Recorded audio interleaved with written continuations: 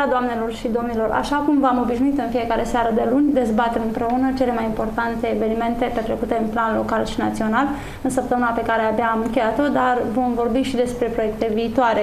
În această seară, la emisiunea Dezbatem împreună, avem alături de noi trei domni, trei persoane implicate în plan politic, dar nu numai. Uh, se află în studioul Valahia TV domnul Gheorghe Ștefan, copreședinte al PNL Giurgiu. Bună seara, domnule Gheorghe Bună Ștefan! Bună seara, mulțumesc de invitație! De asemenea, se află alături de dumnealui doi tineri. Este vorba despre Alin Guțu, președintele Organizației Județene a TNL. Bună seara, Alin! Bună seara, mulțumesc pentru invitație! Și Emil Iepure, președinte al Organizației Municipale de Tineret a PNL Giurgiu. Bună seara, Emil! Bună seara, dumneavoastră și telespectatorilor noastre!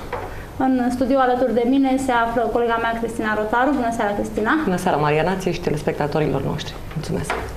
Spuneam că Așa cum v-am obișnuit, în fiecare seară de luni dezbatem temele cele mai importante ale săptămânii. În PNL Giurgiu, săptămâna pe care am încheiat-o a fost una extrem de plină, uh, plecând din primele zile ale săptămânii, mai exact marți, când a fost numit uh, copreședintele PNL Giurgiu. Despre acest subiect o să vorbim cu domnul Gheorghe Ștefan, copreședinte, unul dintre copreședinții PNL Giurgiu. Acum are echipă, va lucra în echipă și până acum a avut echipă, însă nu a avut un echipă aveam, coleg. Nu aveam partener, să Nu aveați așa, partener da, cu da. care să pun, duceți la îndeplinire proiectele pe care vi le-ați propus și mai ales că anul 2015 nu este un an foarte important, ar spune unii, însă din perspectiva alegerilor viitoare ne apropiem uh, cu pași de pe de toamnă și lucrurile ar trebui să fie destul de clare pentru orice formațiune politică, nu doar pentru PNL.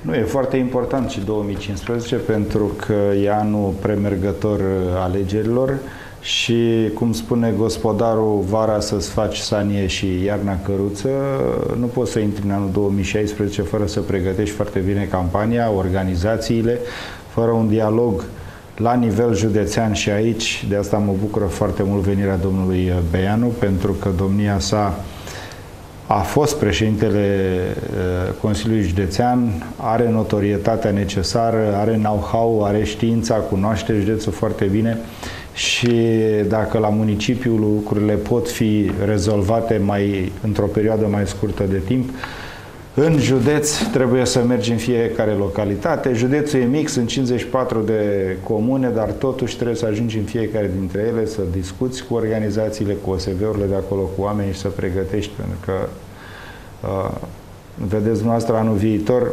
primarii de comune vor fi aleși din primul tur și trebuie să ne asigurăm foarte bine care ne sunt șansele pentru fiecare localitate în parte. Trebuie să găsim candidați, trebuie să înscriem într-un uh, sondaj sociologic, trebuie să le vedem profilurile, trebuie să vedem în ce măsură știu și pot să lucreze în echipă.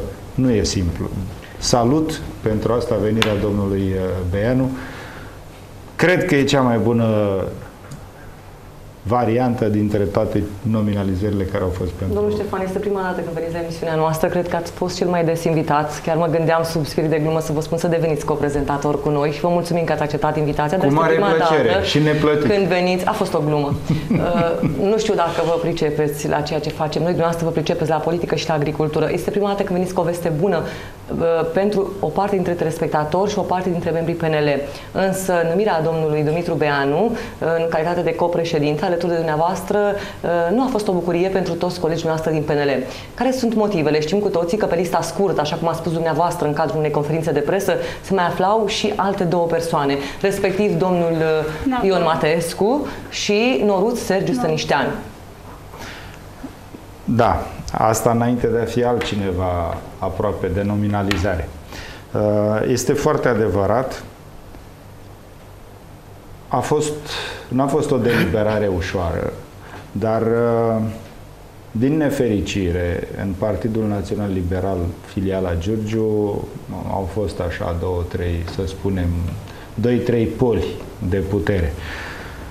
Vedeți, noastră, dacă te numești Partidul Național Liberal sau cum te numi, orice denumire ai avea, nu poți să ai decât un singur conducător și să acționezi ca o echipă, o singură echipă. Din punctul ăsta de vedere, domnul Beanu alături de mine va face o echipă. cu fericirea sau nefericirea celor care le-a plăcut sau nu le-a plăcut nominalizarea domniei sale, trebuie să tragem toți în aceeași direcție, trebuie să câștigăm alegerile de anul viitor. Nu puteam să alegem trei copreședinți din PNL, fiecare Ați avut cu variante. bisericuță. Au fost variante, dar vă asigur că din punctul meu de vedere, domnul Beianu este cea mai bună variantă și asta timpul o să o dovedească. Atât cât îl cunosc, realizez că e un bun coleg de echipă, are o imagine bună, are un speech pe măsură, are ținută, are experiență, are toate calitățile necesare pentru a fi un lider de partid Dar membrii în județean. organizația municipală are? Are și membri în mun- organizația municipală, da.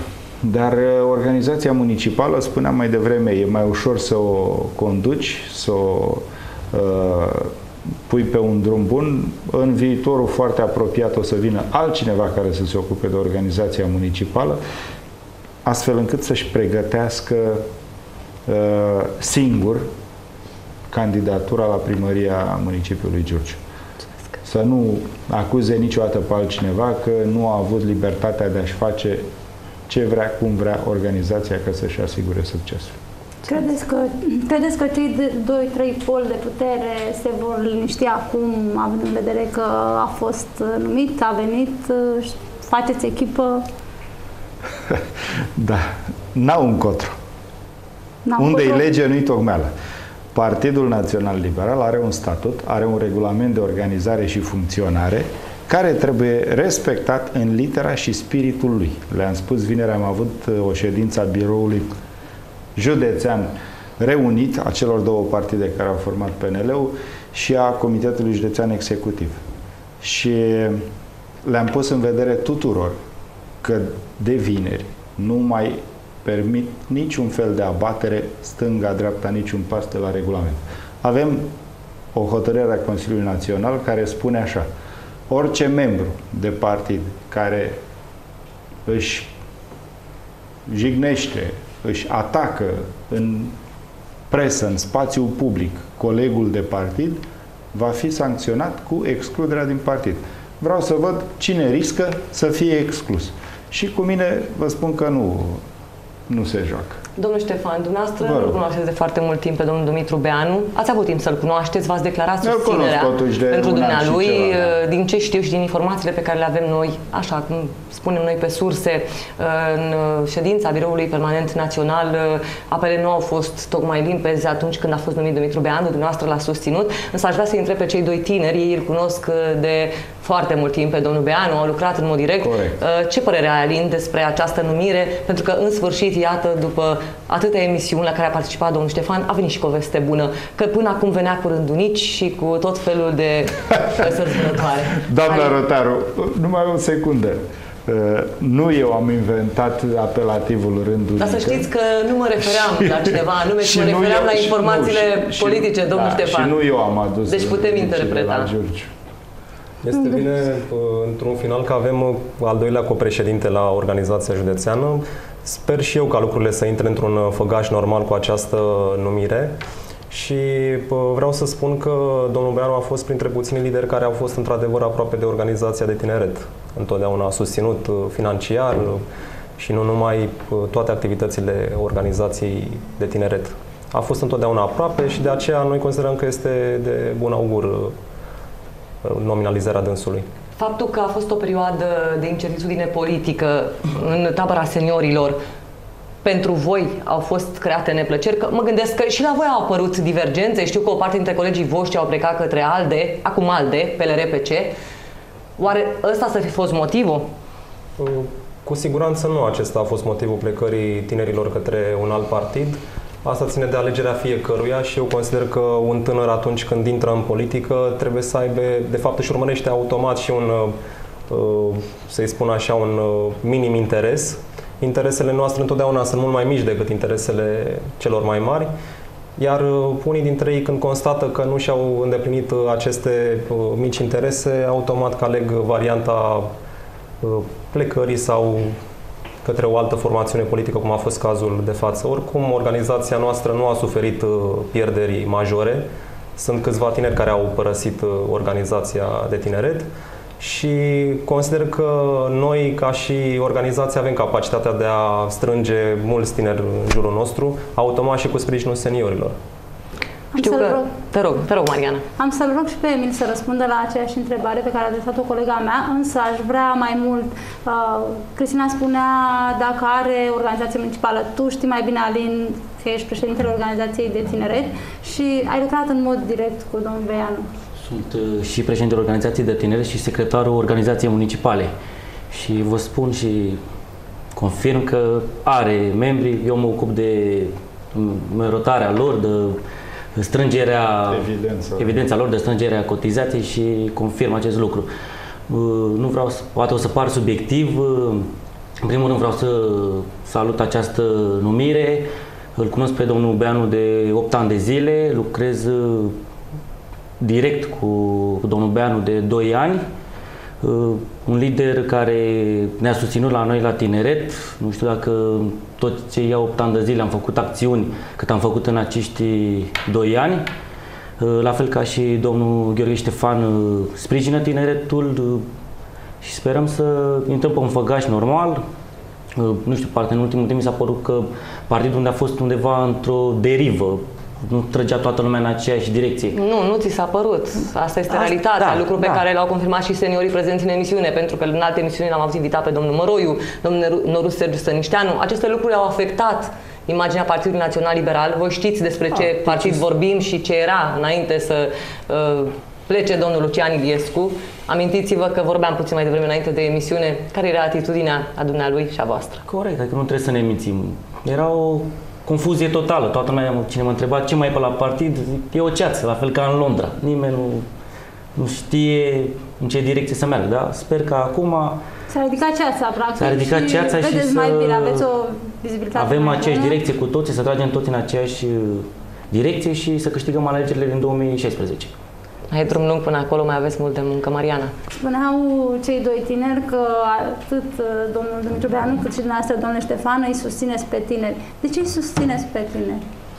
Uh, înainte de a vă răspunde la această întrebare, vreau să vă spun că unul dintre criteriile pe care m-au determinat să sprijin la modul efectiv și susținut pe domnul Beanu, să-mi fie coleg de bancă, a fost tocmai această implicare a domniei sale în viața organizației. În viața organizației, în special la tineri, toate acțiunile, vreau să vă spun, pe care le-am făcut și la care am participat de când s-a realizat această unificare faptic prin hotărâre a instanței în februarie, dar noi din 14 noiembrie, de când am câștigat alegerile, acționăm ca un singur partid, chiar și perioada Alianței Creștin-Liberale. Uh, acesta este criteriul de bază pentru mine în a evalua și a aprecia un membru de partid și a-i da o funcție sau alta. Deci gradul de implicare al fiecare. La acest capitol, domnul Beanu a stat de departe față de toți ceilalți contracandidați de care spuneați, doamna Rotaru, mult mai bine. Acesta a fost și argumentul pe care l-am folosit în Uh, în fața Biroului Permanent Național și a celor doi lideri, doi copreședinți naționali, doamna Alina Gorghiu și domnul Vasile Blaga. N-a fost o acțiune a tinerilor nici că la județ sau la municipiu în care domnul Beanu să nu se implice. Ulterior am venit și eu alături de domnia sa și de ei și sper că exemplul nostru să fie urmat de toți seniorii Domnul care Ștefan, vor să aibă un viitor politic. Domnul președinte, știți ce Bă. spun colegii noastre de la alte partide? Că venind din PDL nu este o carte de vizită tocmai bună a dumneavoastră și că ați lăsat impresia, prin atitudinea pe care ați avut-o până acum și prin modul de a răspunde întrebărilor jurnaliștilor la ultimele conferințe de presă, că dumneavoastră a spus monopol pe Partidul Național Liberal. Greșesc cu oamenii ăștia sau nu e adevărat, ăsta este adevărul? Nu. nu. Uh, dacă consideră seriozitatea mea, rigurozitatea, și dăruirea pentru muncă și implicarea în viața organizației la modul cel mai serios ca un monopol, atunci sunt de acord cu ei. Da, asta e monopol, dar nu e monopol. E seriozitate, rigurozitate, implicare, muncă și iar muncă. Ați văzut că n-a fost o acțiune în care să nu particip. Nu a fost un eveniment la care să nu particip, indiferent că a fost, eu știu, depuneri de coroane, orice eveniment, consider că un lider de partid trebuie să fie prezent peste tot și să reprezinte cu demnitate și cu onoare partidul respectiv. Nu-ți poți permite ca președinte de organizație să fii altfel decât serios și riguros și uh, ca să poți să ai criterii de apreciere vis-a-vis -vis de colegii pe care mâine, poimine trebuie să-i lăsăm să conducă organizații. Vorbiți despre câștigarea alegerilor, atât dumneavoastră cât și colegii dumneavoastră din studio, respectiv Alin Guzu și Emilie Pure, și stăm și ne gândim noi jurnaliștii, nu aveți nici candidat pentru primăria municipiului Giurgiu, nu aveți niciun posibil candidat pentru președinția Consiliului Județean. Este un alt subiect pe care o să-l dezbatem. Un posibil, avem posibil candidați pentru ambele instituții. Și dacă tăiem posibil, și a, nu există a... candidați. Mariana. Bine. Mea, Cum spuneți dumneavoastră, dar nu, nu sunt de acord. un subiect pe care o să-l abordăm puțin mai târziu. Am să vă întreb pe dumneavoastră Ați vorbit în ultima perioadă despre PNL, cel puțin în conferințele de presă, în ieșirile noastre publice, nu ați spus niciodată PDL sau nu ați spus, ați vorbit despre PNL imediat după ce ați fuzionat, ați făcut un singur, ați regretat vreodată această, această alăturare, această construcție politică PNL, ați fi vrut să fiți separat? Sau? Doamne, eu m-am înscris în PDL în 2009. Nu regret. N-am fost, cum se spune în uh, slang, la butoane în perioada premierului Boc. Uh, n-am avut nicio funcție politică sau administrativă cât am fost membru PDL. Eu am muncit în opoziție. Uh, nu e o carte de vizită neonorantă. Nu spune nimeni că Partidul Democrat Liberal a făcut numai rău. A făcut și bine și cu siguranță că a făcut și bine. Nu există partid care să facă numai rău. Eu personal n-am fost de acord cu tăierea salariilor, cu reducerea salariilor, că tăiat înseamnă de tot. N-am fost de acord cu reducerea pensiilor. Dar haideți totuși să stăm drept, strâmb și să gândim drept. Uitați-vă ce se întâmplă în Grecia zilelor noastre eu n-am fost de acord, dar probabil că au fost argumente temeinice și serioase să se ia acele măsuri. Și știm cu toții că România a trecut în 2009-2010 printr-o criză financiară neprovocată de noi, printr-o criză cruntă. Probabil că dacă nu se luau aceste măsuri, astăzi Grecia era mic copil pe lângă noi. Și asta o spun datele statistice, să nu ne luăm după vorbe. Dumneavoastră sunteți jurnaliști, eu mi-asum ca lider de partid. Datoria României era enormă. Visteria a fost goală. Goală, goală în 2009. De ce? Au fost niște acțiuni și niște hotărâri, decizii populiste luate de guvernul Tăricianu, așa cum astăzi riscăm ca Ponta, prin măsurile pe care le-a luat, să dea peste cap, să dezechilibreze bugetul. Pentru că nu întâmplător, vineri, președintele Iohannis a întors legea eh, codului fiscal în Parlament, tocmai pentru ca Ponta și guvernul Ponta să vină cu măsuri, să explice de unde vor colecta nu, banii. ce vreți dumneavoastră să ne spuneți nouă și George Venilor acum? Cât de frumos nu. a fost PDL-ul? Doamna, Noastră aveți o problemă cu PDL-ul? Eu n-am spus nimic da, cu PDL. cred că am o problemă eu am și eu spus și că probabil dacă nu se luau acele măsuri, am fi avut probleme astăzi. Eu nu țin cu PDL-ul cum nu țin cu niciun alt partid meu, eu țin cu realitatea. Nu, dar nici să veniți să ne spuneți cât de bine era pe vremea PDL-ului. Că... Dacă puneți întrebări de astea ca să, așa, doar ca să vreți să fiți răutăcioasă, nu v-ați găsit nu, absolut partenerul. Nu, nu la modul că... serios. Eu v-am, dacă noastră aveți argumente că în 2009 bugetul statului era plin, și PDL-ul a tăiat așa, PDL-ul, Băsescu, că el a tăiat. Eu repet, nu eram decât un simplu membru. Dacă considerați și aveți argumente că Băsescu, așa ca să se dea mare, a tăiat uh, pensiile și salariile, mă rog, argumentație. Eu n-am oamenii văd mai bine la televizor ceea ce s-a întâmplat în acea perioadă. că Vasile Blaga și-a dat demisia din ministru tocmai pentru nu, că nu Vasile a fost de Blaga, acord nu. cu tăierile și cu... Nu, nu, nu. Vasile Blaga și-a dat demisia din funcția de ministru de interne după mitingul organizat de polițiști da, când s-a strigat ieși afară, nu știu cum. Nu susținea tăierile salariilor în mod direct. Asta e clar. Știu, Din moment ce a ieșit, s-a vorbit și atunci. Uh, însă, înainte de a discuta despre posibile liste, despre posibili candidați, despre structurile pe care PNL le are în teritoriu, fiindcă nu cred că e momentul acum să mai vorbim despre anumite perioade. Cred că ar fi frumos să vorbim despre ceea ce așteaptă PNL, ce îl așteaptă pe acest partid de acum încolo, lupta pe care va trebui să o ducă în teritoriu și aș vrea, înainte de a vorbi despre liste și despre candidaturi, să îl întreb pe Alin. Știu că voi desfășurați la nivelul organizației județene un proiect foarte frumos, suntem români, citim românește. Uh, este uh, Spuneați voi că din ce în ce mai multe persoane care au optat pentru un loc de muncă în străinătate aleg să se mute împreună cu familia întreagă în altă țară. Mulți copii din comunitățile de români din diaspora urmează cursurile școlilor din țările în care se află și învață limba și cultura acelor țări. Astfel, ei pierd contactul cu limba natală și cultura românească. Tocmai de aceea voi ați inițiat acest proiect. Cel puțin eu așa am înțeles. Și aș vrea să ne vorbești mai mult despre această acțiune, care a fost scopul, ce intenționați. Da, este un proiect uh, uh, care se implementează în această perioadă de către Organizația uh, Județeană de Tineret. Este un proiect, în primul rând, național, care se implementează în toate organizațiile județene de tineret din, din țară. Scopul nostru, targetul, este să atingem peste 60.000 de volume care se vor trimite în biblioteci organizate în sediile, în 8 biblioteci din, din diaspora, care se vor organiza în sediile partidului acolo unde sunt comunități mai mari de români.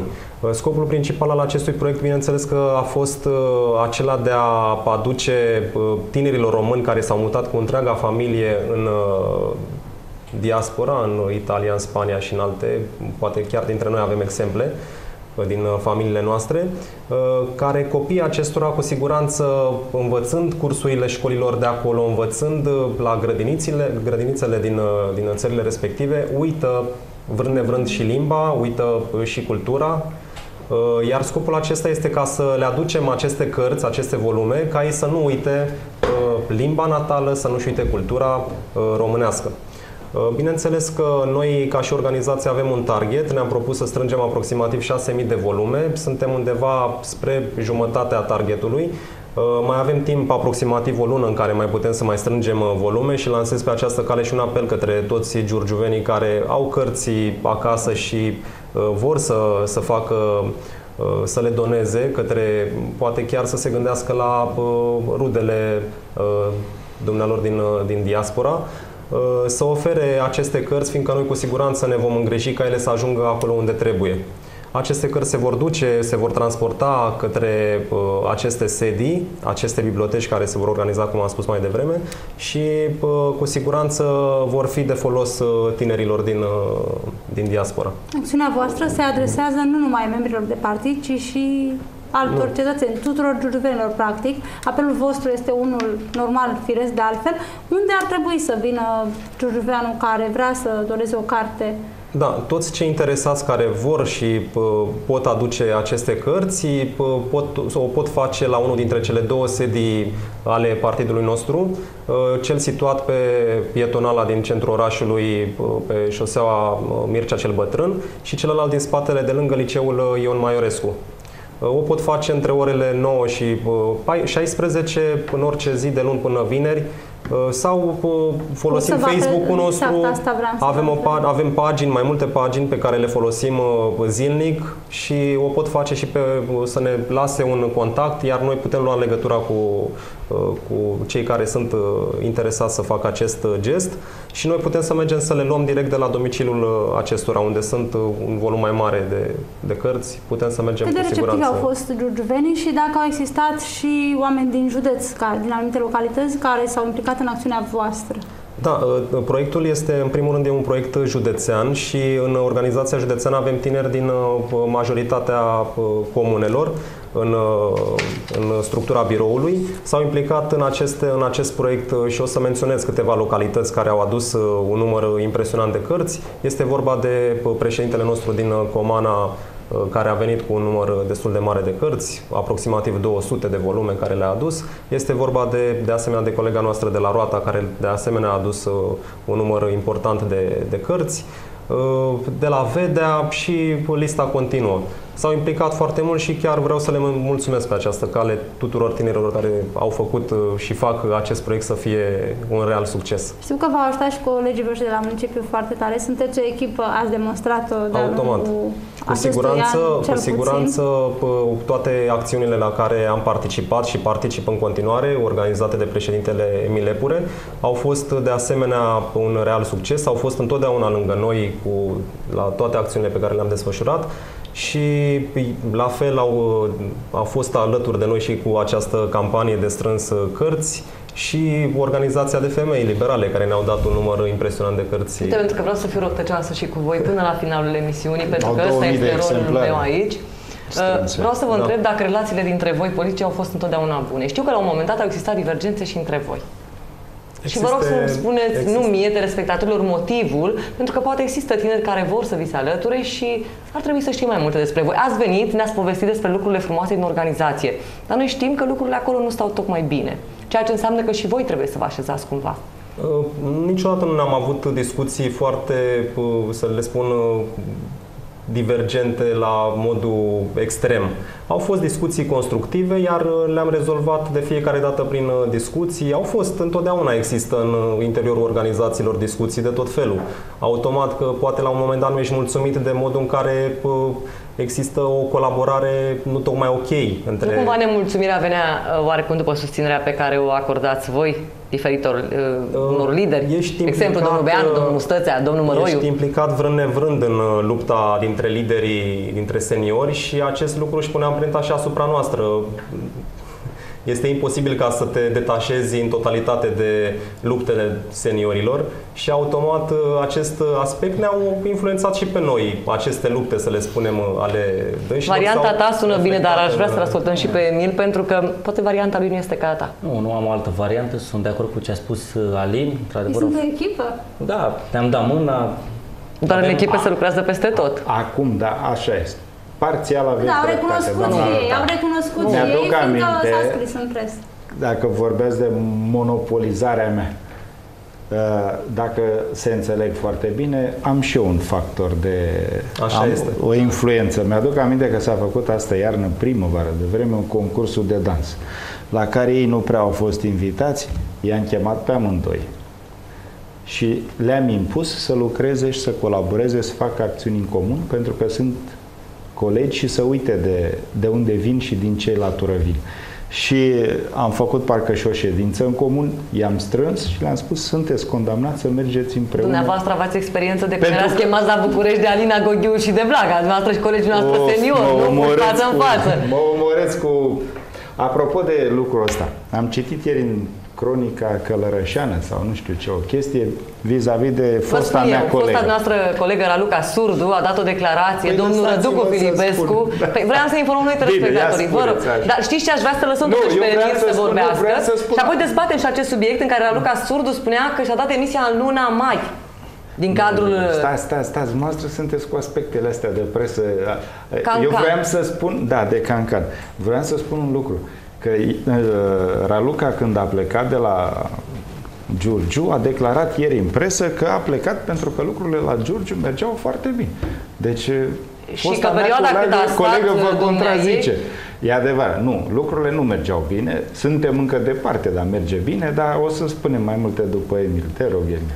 Uh, spuneam că nu am uh, o altă părere față de cea lui Alin. Într-adevăr au fost anumite discuții, dar au fost constructive. Ne-am dat mâna, colaborăm, ne susținem unul pe celălalt, avem același cel, uh, binele partidului, cu, amândoi dorim funcții... Da, binele giurgiuvenilor.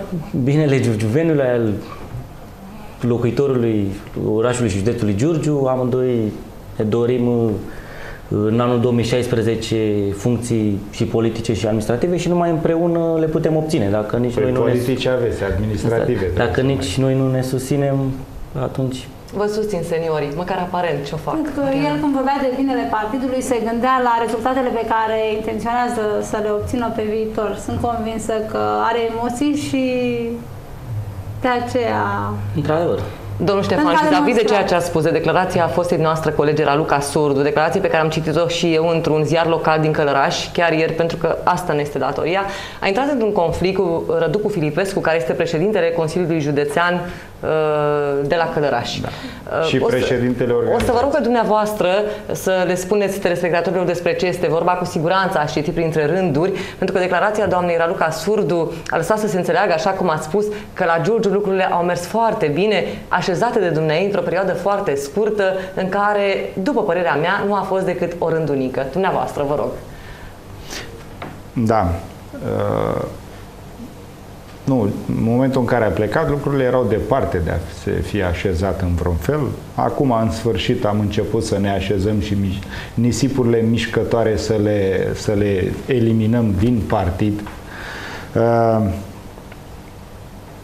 domnia sa, nu vreau să comentez mai mult, a plecat din cu totul și cu totul alte motive nu vreau să comentez nimic despre justiție. A plecat datorită problemelor soțului domniei sale și eu i-am recomandat și am și spus-o în conferințe la momentul respectiv că cel mult poate să facă un pas și să rămână în rândul 2, dar uh, dacă ești politician și vrei să faci o carieră în politică, nu poți decât fiind în primul rând. Dacă să te păstrezi astăzi în primul rând, trebuie să fii curat, să fii cinstit, să n-ai, cum se spune în presă la dumneavoastră, schelete în șifonier. Cine nu are... se spune la noi, la dumneavoastră, se spune în A, politică mine... mai des decât la noi. Da. Noi am învățat de la dumneavoastră, politicienii. Vis-a-vis de situația Ralucăi Surdu, nu cred că este cazul să comentăm. Nu e de comentăm. Noi este o situație de delicată de și poate o să-i fie bine și va reuși Doamne, să câștige un post de parlamentar. Doamne ajută să-i fie bine. Vom lua o scurtă pauză de publicitate și vom reveni alături de invitații mei din această seară. Pauză, publicitate, vă rog.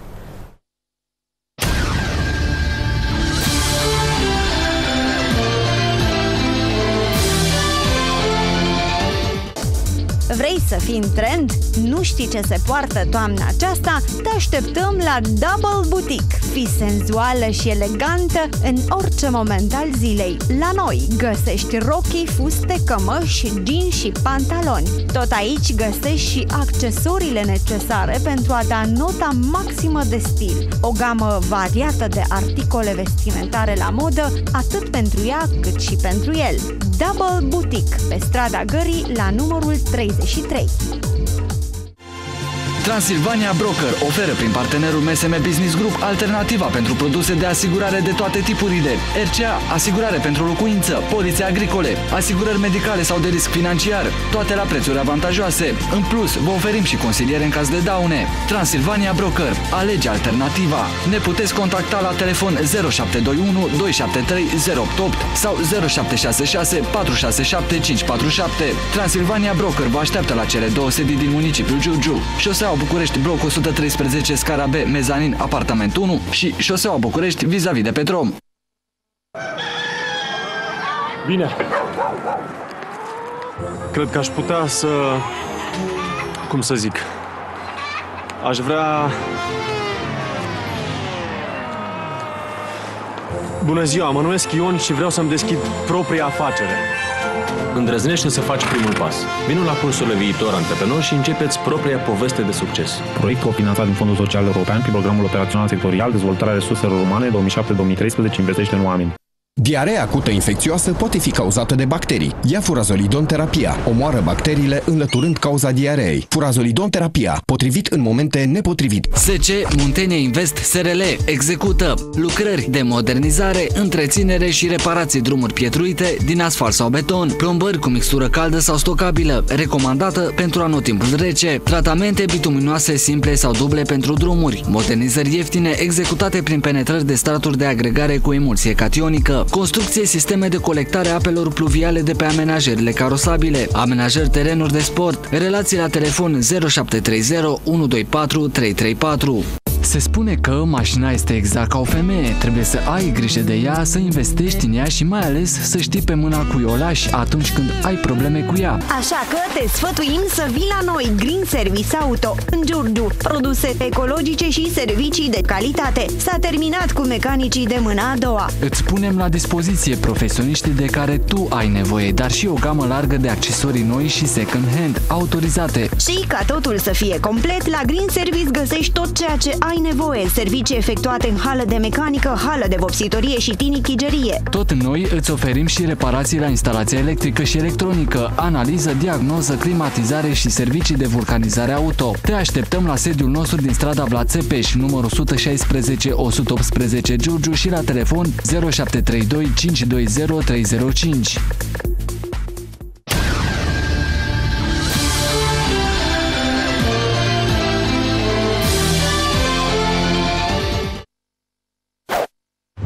Pentru o viață sănătoasă, faceți mișcare cel puțin 30 de minute în fiecare zi. Am revenit uh, în direct alături de invitații mei din această seară și am să îi amintesc pe cei care se află în studioul Valahia TV. Este vorba despre domnul Gheorghe Ștefancu, președinte al PNL Giurgiu și cei doi președinți de la Organizația Județeană de Tineret uh, Alin Cuțu, respectiv Organizația Municipală Emilie Epure. Am uh, vorbit despre ultimul eveniment numirea copreședintelui PNL Giurgiu, celui de-al doilea copreședinte. Am vorbit despre unul dintre proiectele Organizației Județene de Tineret. Uh, acum aș vrea să întreb uh, pe cei doi tineri, înainte de a vorbi despre un alt proiect care se derulează la nivelul municipiului, Giurgiu Înflorește cu tine, dar o să discutăm puțin mai târziu despre acest proiect. Am să vă întreb, uh, știu că au plecat unii tineri, membri ai organizației municipale și județene, către alte formațiuni politice. Dacă este adevărat și câți au plecat, se vorbea despre 20 de persoane la o conferință, tu ai spus o cifră și în ce relație vă aflați cu ceilalți colegi? Într-adevăr, au fost anumite plecări, nu trebuie să ascundem chestia asta, dar nu este adevărat că sunt numărul este așa de mare. Mă deranjează că anumiți lideri de la alte partide și sunt tineri, poate cu câțiva ani mai mari ca mine și au prins acest prost obicei de la mai seniorii noștri de a minți. De ce să a exagera? A exagera și de a înflori așa de bine. Da? Tineri. Deci se spune că în politică... Nu. Declarația asta nu a fost făcută de președintele partidului ALDE și aici mă refer la PCPLR, uh, respectiv uh, domnul, cum îl cheamă pe actualul președinte Toma de la... Toma, Toma, uh, Toma Petcu. Deci nu a fost făcută de dumnealui, a fost făcută de un fost coleg de-al vostru care a plecat din PNL în cadrul unei conferințe de presă. Conferință ați avut și voi în aceea zi, iar acest tânăr la care face colega mea referire a spus că au plecat din PNL 20 de tineri. Voi ați declarat cu o oră înaintea lor că 8 tineri au plecat. Deci, repet, declarația nu a fost făcută de Toma Petcu, că tu făceai referire la el. Nu, domnul Toma Petcu făcea referire, ci la domnul Ionel Muscal făcea referire, că am văzut conferința celor de la PLR în care a afirmat, știu foarte bine, 25 de tineri au plecat. Adevărul este că au plecat 8 tineri, am rămas uh, prieteni cu acești tineri, sunt în continuare prietenii mei. Uh, Mar, cinci dintre ei m-au sunat, mi-au spus uh, decizia pe care o va lua, le respect decizia, au plecat, spune pentru lucruri mai bune, sper să fie ajutați, să le doresc tot binele din lume și rămânem în continuare prieteni. Este o tragedie faptul că tinerii au plecat din PNL. A fost dorința lor, că mai traseiți decât seniorii, cam greu. Voi sunteți copii, sunteți informare, însă ei au spus în cadrul acestei conferințe de presă la care facem noi da. referire că motivul pentru care au plecat din PNL este că la ALDE li s-a promis un loc de muncă. Sper să și ajute. Tu ce motive, ce motive ți-au spus că au avut, au plecat din Da, da, același lucru. Au plecat pentru locuri de muncă. Ați încercat la seniorii voștri să fiți ajutați? Da, am vorbit și cu seniorii și ne-au spus să mai avem puțină răbdare, nu să pot face lucrurile pe un timp foarte scurt și deci înțeleg că interese sunt uh, peste tot, da, Maria? Și cu siguranță problema locurilor de muncă este una reală la nivelul municipiului Giurgiu și din păcate tinerii suferă cel mai tare, fiindcă ei nu au experiență și în majoritatea funcțiilor uh, se cere experiență, că astea da, sunt condițiile. Ar trebui un pic umbla și la legislație Corect, dar acum partidele politice nu sunt fabrici de locuri de muncă. Adică, până la urmă... Nu ur... sunt fabrici de locuri de muncă, însă în campania electorală știm că tinerii sunt cei care muncesc cel mai mult și probabil da. Asta ne dorim a dori Cu locurile de muncă a fost responsabil în ultimii trei ani Victor Ponta, că a promis un milion de locuri de muncă și vedeți că n-a făcut mai nimic, spunea doamna Rotaru mai devreme, de, mă rog, partidul din care eu am plecat și unde am ajuns. Eu am fost într-un singur partid, de fapt că prin fuziune am ajuns în uh, PNL. Noi ne-am dat și casa și nume și tot și ne numim PNL și pe mine din februarie m-ați auzit vorbind doar de PNL. Uh, mi-aduc aminte că în timpul crizei financiare care a lovit tot globul ăsta pământesc, în România se făceau autostrăzi, se făceau lucrări mari de infrastructură. Ponta, săptămâna trecută când am venit din Turcia, s-a dus la Arad și a inaugurat ultimii 10 km de autostradă care fac legătura cu Ungaria. Între timp, domnul Ponta cele un milion de locuri de muncă nimic, infrastructură zero, păi sigur că vii și dai niște pomeni de astea, dai niște măriri salariale dacă nu creezi locuri de muncă și statul nu se implică cu bani să construiască. De asta împărtășesc ideea noastră, e greu să fii în Giurgiu tânăr, că n-ai locuri de muncă, dar la fel de greu să ai și vreo 50 sau 55 de ani să-ți pierzi locul de muncă, că până mori ai șanse foarte mici să Domnul președinte, o să vă contrazic. Domnul și... primar Nicolae Barba a creat vreo 7000 de locuri de muncă, să știți, în orașul nostru. Este tot un reprezentant păi, al domnului Victor, că... partidului pe care îl reprezintă Victor Ponta. Înseamnă o să vedem că tinerii dacă șomajul știu. foarte tare. În păi nu ați știut că sunteți totuși un lider de partid. Da, serios? Deci da. nu mai avem șomaj în Giurgiu. Șomajul este în creștere, Păi dar stați o clipă că era șomajul 10,5. Dacă a făcut 7000 de locuri la populația activă a Giurgiului, înseamnă că în Giurgiu vin și lucrează din județele învecinate. Matematic, eu sunt inginer, mă scuzați, nu prea se potrivesc. Ori domnul Barbu minte, ori dumneavoastră ați citit un articol de al domnului Barbu. Ok. Nu, colega mea are dreptate, spunea... 7000 de locuri de muncă, știți ce înseamnă? S-au luat datele din revisal, nu știu cât de... Vorbim de o declarație a domnului primar mai veche, mai veche, mai veche. declarație pe care timp... și-a susținut-o probabil până la final, deci nu glumesc Deci domnul Giurgiu are, are cât 60 de mii, 65, câți mai sunt acum după ce au plecat? Voi simțiți aceste 50 de mii. că le vedeți voi tineri. Populația activă înseamnă cu puțin sub 50 de mii. Da, dar domnul primar a ieșit în conferințe de presă și a spus că aceste locuri de muncă au fost luate din registrul de evidență al salariaților, respectiv revisal. Deci vorbim despre contracte închise, Încheiate, deschise de... Uh, și așa mai departe. Dar categoric aceste 7000 de locuri de muncă nu au fost create. Este un subiect pe care am putea să dezbatem la nesfârșit, dar cu siguranță nu vom găsi rezolvare. Poate dumneavoastră, cei care veniți din urmă și promiteți, așa cum spuneam puțin mai devreme, giurgiuvenilor, poate dacă, face dacă ceva domnul Barbu a creat 7000 de locuri de muncă și mâine ar fi alegeri, domnul Barbu ar fi ales cu 100%. Pentru că 7000 de locuri de muncă, 7000 de oameni, populație activă cu familiile lor, nu ieșim din cărți, nu prea cădem după hartă. Ajungem în ruse. Din păcate, realitatea este alta. Noi știm că majoritatea tinerilor merg către București să lucreze și exemple sunt, uh, slavă Domnului, foarte multe. Majoritatea celor pe care îi cunosc eu personal lucrează în București și este foarte greu ca tânăr să nu ai un loc de muncă în orașul tău natal. Uh, au preferat să meargă către București, fiindcă pe aici, efectiv, chiar nu găsești un loc de muncă. Deci, ca și tânăr și mai ales absolvent de facultate sau absolvent, tânăr absolvent de liceu, nu ai nicio variantă în acest oraș. Asta este realitatea tristă. Alinești de foarte mult timp Partidul Național Liberal, conduce o organizație de tineret. Sunt convinsă că și pe tine te caută prieteni, colegi, vecini și așa mai departe să-i ajuți în căutarea sau găsirea unui loc de muncă. Am de ce spun? Da, așa este. Am, deja am CV-uri la foarte mulți tineri care vin către noi cu speranțe. Din păcate, nu putem să-i ajutăm fiindcă nu avem cum, nu avem posibilitatea aceasta. Uh, PNL-ul este un partid într-adevăr uh, important pe scena politică, dar nu este un partid uh, aflat la guvernare care să poată să promoveze tinerii și vorbesc aici nu de funcții date pe criteriu de nepotism sau de interese, mai știu eu de care.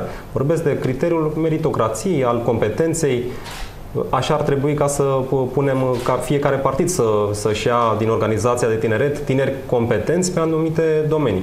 Am văzut pe domnul Ștefan într-o emisiune și împreună cu domnul Beanu săptămâna trecută la un alt post de televiziune, la un alt coleg de-al nostru, în care dumneavoastră, domnul Ștefan, vorbeați despre munca în partid, despre activitatea politică. Doar așa un membru poate ocupa o funcție. Văd că tinerii au luat ceva de la dumneavoastră, ca să vedeți că nu sunt răutăcioasă până la finalul emisiunii. Uh, tinerii au învățat ceva de la dumneavoastră. Ar fi bine să se respecte aceste reguli. Ar fi bine ca dumneavoastră, cei care reprezentați Partidul Național Liberal, să puneți oamenii, omul potrivit la locul potrivit partid. Eu le-am spus tuturor membrilor PNL în județul Giurgiu că teoretic vorbind există un scaun pentru fiecare. Dar scaunul ăla nu există pentru că el e membru de partid, pur și simplu. Trebuie să muncească, trebuie să-l merite. Exact ce spunea Alin, meritocrația. Dacă ești un simplu membru, poți să stai acolo, simplu membru. Nu, Munca de partid înseamnă să te implici, înseamnă să muncești în echipă, să respecti niște valori, să-ți dedici din timp, să mai bagi chiar și mâna în buzunar, să te apleci asupra problemelor comunității, să participi și să la înțeleg evenimente. că listele dumneavoastră le-ați făcut, că ați recunoscut în seara asta că au fost făcute de dumneavoastră sau nu v-am întrebat, în seara asta ați spus, le-ați făcut așa după activitatea politică a membrilor dumneavoastră? Nu. uh, Primele trei poziții sunt datorită posturilor ocupate, adică copreședinți și președinte de Consiliu Județean în funcție. Restul, până la 30, sunt trecute în ordine alfabetică dintre cei ce activează astăzi în politică. Dar sunt departe de a fi listele finale. Uh, mulți dintre ei n-au ce să caute nici măcar pe lista asta, pentru că sunt simpli membri sau uh, stau în anumite instituții ale statului în care au ajuns tot datorită pe Partidului Național Liberal, dar astăzi nu s-au implicat. Și cine o să vină să se implice în ultima lună o să se găsească sub Pentru că ați linie. venit cu vești mai bune decât altă dată atunci când nu știați cine vă este partener, da? Cine este un al doilea copreședinte, pentru că Păi, nu n-am- știați n-am cine de va fi unde să alături de știu. dumneavoastră și aici fac referire, se vorbea atunci despre procurorul George Neagoe, se vorbea despre Ion Mateescu, se vorbea despre Norus Sergiu Sănișteanu, iată că apele s-au așezat. Acum vreau să întreb pe colegii noastre din partid, partenerii noștri de platou, invitați în această seară, care sunt planurile voastre de viitor, pentru că veniți după o perioadă tulbure, indiferent de ce ați vrea să spuneți voi, ce acțiuni minunate ați avut, ce băi ați făcut în uh, piscină și așa mai departe. Totuși, care este Bun. viitorul Cum am spus și mai organizației pe devreme, care o conduci tu? orice, orice tânăr când intră în politică trebuie să se gândească și la un uh, cel pe care îl urmărește, la un scop bine determinat. Atunci când intri în politică la 18 ani te gândești doar la distracție, cu cât înaintezi în vârstă te gândești deja la o carieră politică și automat uh, interesul tău este să atingi un anumit scop. Scopul nostru și al meu și al colegului meu Emil uh, nu este un scop extraordinar de, uh, ca să spun așa, să cerem uh, funcții uh, peste limita partidului. Uh, Este uh, să ajungem pe lista de consilieri, în primul rând Consiliul Județean, în speță Consiliul Local, și apoi să candidăm să ne măsurăm și noi valoarea noastră ca și tinerii uh, liderii ai tinerilor uh, liberali. În acest Pentru județ. colegii din organizație pe care ai vorbit doar despre tine, ai făcut referire la tine și la colegul tău. Colegii tăi, ce așteptări au?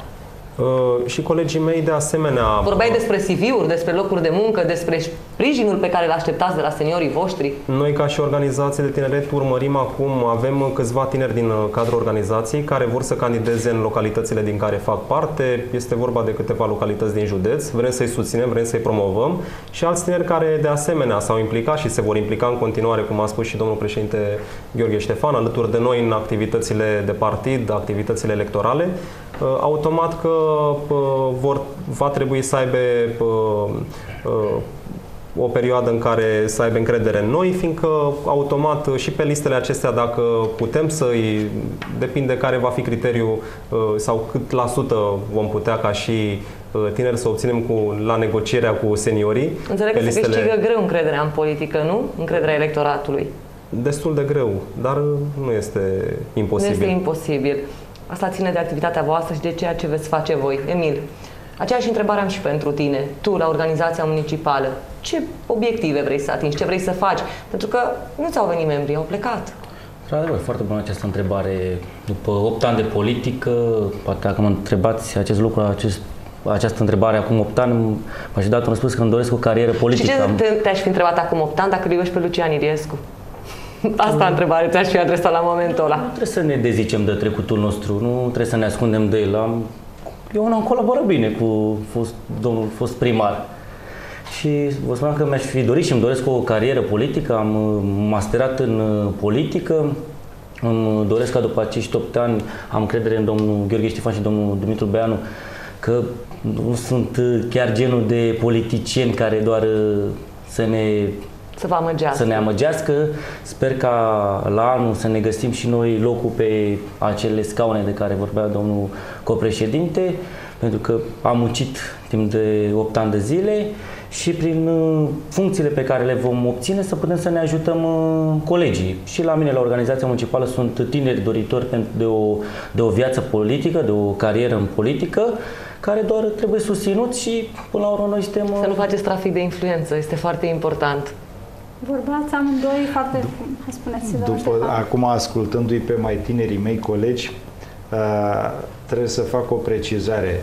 Cei care au plecat de la Emil din organizație, vineri la ședința biroului permanent județean, i-am și exclus ca membri din uh, organizație, așa că le dorim drum bun și să activeze acolo. Oricum se pare că nu, și cu siguranță nu au fost dintre liderii organizației lui de tineret, uh, pentru că nici măcar nu au putut să gândească să facă un alt eveniment de o altă natură, ce au ales, să copieze evenimentul deja consacrat cu piscina uh, și au făcut în aceeași zi, dar au furat startul. Poate a fost o întâmplare, mai domnul președinte, poate a fost pur și simplu uh, o întâmplare, nu cred că m-am a fost intenționat. de în politica românească, de la Ponta și până la alții, nu mai vreau. Dacă toți sunt tineri, de ce să nu vină cu ceva nou? Dacă vor să fie altceva. Nu le-a plăcut în organizația lui Emil duceți-vă copii și faceți un alt eveniment în altă zi, din respect și la o altă oră. Mă rog, asta ca un comentariu. Spuneați de uh, monopolizarea partidului. Uh, acum îmi dau seama de unde vine expresia sau îngrijorarea celor care spun lucrul ăsta că eu am mon- monopolizat PNL-ul în ultimile luni. Pentru că am fost singur. De multe luni bune sunt singur la conducere după ce a plecat doamna Surdu. Uh, și probabil că mulți sau multora le-ar fi plăcut să nu fie nimeni și partidul ăsta să se ducă de râpă.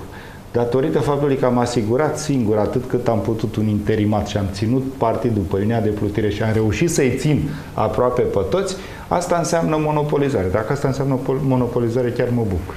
Chiar mă bucur. De eu mă bucur că am reușit să-i conving să facă echipă toți. Cei doi tineri vorbeau despre o carieră politică, despre faptul că vor să se regăsească pe lista de consilier județean Alin și pe lista de Alin consilier e pe lista de Emil. consilier județean. Uh, în ce măsură este PNL, pregătit PNL-ul să susțină acești doi tineri pe aceste liste, pe un loc eligibil, fiindcă știm cu toții că, din experiența anilor trecuți, că ei au trecut undeva mai la coada listei și nu ajungeau niciodată.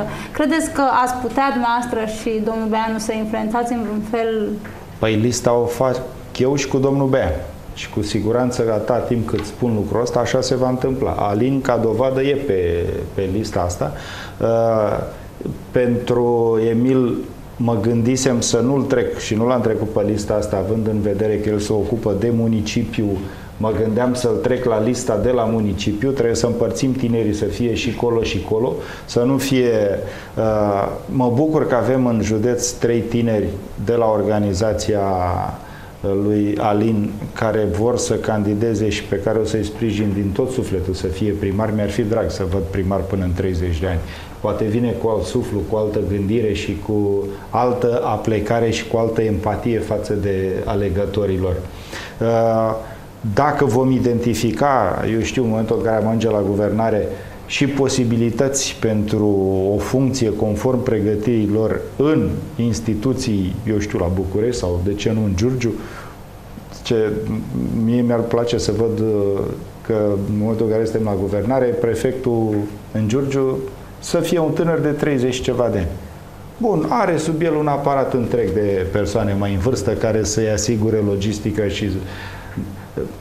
Știți, când pui un tânăr, nu riști nimic decât să am, cum avem acum și cum au fost în organizație, persoane în vârstă și care să nu facă nimic, doar să încerce să destabilizeze, să bage bățul în gard, uh, cu un tânăr nu riști nimic. Pe tânăr îl Nici crești. cu Ponta nu s-a riscat, domnul președinte, că și Ponta este tânăr.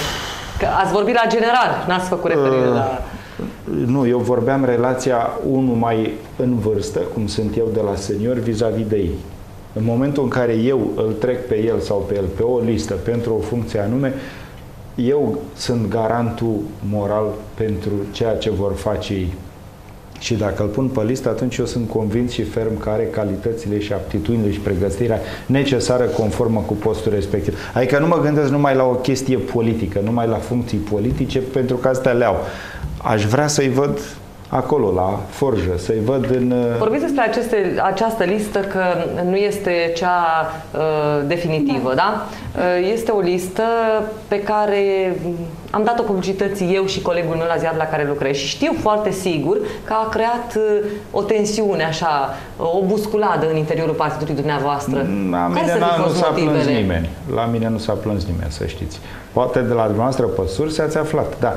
Dar mă rog, uh, dacă a creat busculadă, Trebuie Da. să recunosc faptul că noi nu am făcut precizarea în articolul pe care l-am dat publicității că aceste liste sunt în ordine alfabetică. Am făcut-o cu scop pentru a vedea cine se bate mai mult pentru un loc cald în partidul dumneavoastră. doamna Rotaru n-au decât să se bată, uh, mie trebuie să-mi vină cu argumente, cu fapte, cu dovezi, că se implică în activitatea politică. S-ar putea ca până la anul, uh, teoretic, niciunul să nu mai rămână, dacă nu se implică și nu fac nimic.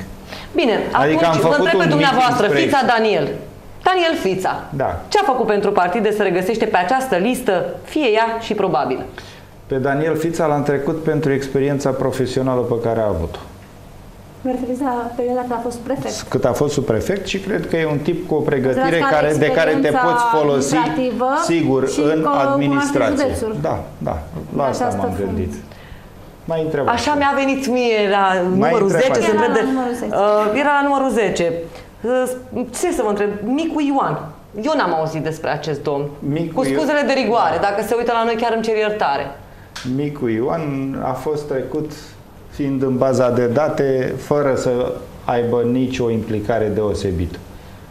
Sunt destui acolo care n-au implicare și Da, unii pentru se care eu mută vă de la pro- municipiu la județ. Da, eu vă spun Asta că nu e. vor rămâne, uh, dar haideți să vă spun de ce am dat lista asta. Pentru că noi aveam un target, aveam, avem niște termene de respectat. Consiliul Național, care l-am avut acum o lună și ceva la Pitești, ne-a stabilit un grafic de activități până începe campania electorală până la anul.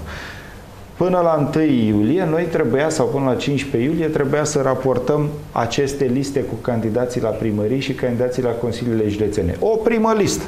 Pentru că, mai iertă Dumnezeu, vor mai fi de și lucru, situații ca în să-i care spunem dacă așa. avem... Domnul un- președinte, se și cu lucrează. toate astea, dumneavoastră încercați să lămuriți niște aspecte, toate astea îl regăsesc decât pe tânărul uh, Alin Guțu pe această listă. Nu regăsesc pe Emilie Iepure și Marciu Cosmin, El- că și el este tânăr. Și Este. Marciu. Uh, Marciu, da. Uh, unde sunt tinerii noștri? Că vorbiți despre tineri, că spuneți că îi susțineți și dumneavoastră, și domnul Beanu, și toți liderii. Ieșiți și spuneți, fără tineri nu putem să facem echipă, cu tinerii Uitați-vă lucrăm. că sunt mai mulți tineri acolo. Domne, E și Toma Andreea, Uh, Da, Da, mai- Andreea, tânără avocată Andreea Toma. Da, sunt să știți destui că domnul tineri. Păun nu mi se pare foarte tânăr așa. Uh. Și dacă mă uit, nici dumneavoastră care sunteți pe primele locuri nu sunteți la prima tinerețe. Păi să mă dau la o parte, mă Păi taie. nu mă refer la dumneavoastră, Ca să le Gheorghe fac Ștefan. loc de- Eu mă refer la colegii dumneavoastră. Păi pe cine? Spuneți pe cine să tăiem de acolo. Păi Dar nu mai are spunem timp noi. Să taie, a spus domnul Ștefan. Lăsați-i până să la dovedească. alegerile din 2016, Deci aceste liste vor lăsați suporta mai sunt modificări. șase luni de zile în care au posibilitatea să dovedească, să confirme sau să infirme dacă merită Va fi lista acele... aceasta validată? Oricum, gândiți-vă că aveți acolo 30 de nume și probabil că noi o să, dacă Am o să mai fost câștigăm, perioade când anumiți candidați au fost validați și după aceea au fost tot alții. Consiliul În Județean are 2012 avem 31 de membri. Nu o să facă PNL-ul 31 de membri. E exclusă chestia asta. Dar cine intră, intră, cine o să fie eligibil, cine nu rămâne pe Am lista de lămurit pe rezervă. decât lucrurile, cred că trebuie să vorbim despre posibilii candidați la primărie și la Consiliul Județean. Mariana, te las pe tine să fii și tu răutăcioasă. Înainte de a discuta Da, despre să fiți posibilii răutăcioasă, vă rog candidați frumos. la primăria municipiului Giurgiu, dar și de alte primării la Consiliul Județean, am să-l întreb pe Emil să ne vorbească despre proiectul lui concursul Giurgiu împrăște cu tine. Este al doilea an, dacă nu mă înșel. Dacă la prima ediție au fost mai puțini participanți, aș vrea să îmi spui anul acesta câte grădini frumoase s-au înscris în concurs. Știu că s-a finalizat perioada de înscriere, ați și, și de pe Facebook au fost aceste grădini, au putut fi votate. Care este situația la momentul actual? Câte Da. grădini s-au înscris? Și... Dacă îmi permiteți, mă, uh, vreau să monopolizez și eu această discuție, la cum să spun domnul copreședinte, uh, și să fac o scurtă re, recuperare și reamintire a acțiunilor noastre din uh, ul- Da, chiar te ultima rog. noastră emisiune. Am încercat să, uh, ma, să profităm de aceste zile naționale și internaționale, să le scoatem în evidență. Am avut un uh, concurs de dat, dans cu ocazia Zilei Naționale a Tineretului, un concurs de dans pe perechi. Am, uh, am avut un tur al, biciclet, uh, al orașului pe biciclete cu ocazia Zilei Naționale a Copilului, 1 iunie, pentru care, la care au participat 88 de bicicliști, pentru care Partidul Național Liberal a oferit câte un kilogram de mere românești, ce au fost dăruite copiilor. Uh, Colegii mei de la Clubul uh, Studențesc Liberal au organizat o seară de film în aer liber, o acțiune de succes. Am uh, participat și la proiectul național Lezduit România. Colegii de la Clubul Elevilor Liberal, după unele rezultate obținute la învățătură au organizat uh, săptămâna trecută o petrecere la piscină, iar în prezent uh, desfășurăm uh, acțiunea Giurgiu Florește cu tine. Într-adevăr, suntem la a doua ediție, este un concurs um, destinat grădinilor de bloc, în, ca, în care premiem cele mai frumoase grădini de bloc. Anul trecut au fost înscrise 24 de grădini, anul acesta sunt 38, Sper că acest, această creștere să fie datorată și demersurilor noastre. Uh, perioada de vot a fost până pe data de 17, s-a tras linia și săptămâna viitoare, sâmbătă, vom merge să premiem toate grădinile înscrise. Și după atâtea activități l-ați obosit colegii și o parte dintre ei au plecat. Felicitări pentru toată activitatea voastră, pentru faptul că știu că ați fost susținuți de seniorii voștri. Uh, ați fost sau n-ați fost? Am fost susținut. Dumneavoastră scoateți în evidență doar pe cei care au plecat, dar și vin în continuare, pentru că facem niște au acțiuni... Au plecat oportuniști, doamna. Da, da, într-adevăr. Și dumneavoastră scoateți în evidență doar pe cei care au plecat, dar într-adevăr vin și alții, pentru datorită facem și niște acțiuni... Și de Paști, da. Paști a fost cu Alinda, cu o acțiune umanitară am fost în echipă și la celelalte activități, fiindcă noi, ca jurnaliști, le-am mediatizat, chiar și evenimentul ultim acum cu Liberal Summer Party, dar și cel cu seara de film și tu ai uitat sau ai omis să spui că se află o petiție pe care giurvenii o pot semna, este vorba despre Casa Tineretului, un proiect pe care liberalii îl susțin, știu că este un proiect de suflet al domnului Beanu. Da. Ați vorbiți și voi în alte emisiuni și se simte chiar nevoia unui spațiu în care tinerii să se reunească și să se distreze. Până la urmă, acest lucru a fost evidențiat și de participarea masivă la acest eveniment. Au fost tineri care au stat cocoțați pe scări, s-au sit în copac numai pentru a participa la... Da, dar la muncă sunteți tot, tot atât de mult sunteți? Da, tu îmi spui că am scos în evidență pe cei care au plecat. Da. da. Și o să o fac în continuare, pentru că am vorbit doar despre cei care au plecat și n-ai, nu ne-ai spus în această seară au plecat 8 și au venit 20.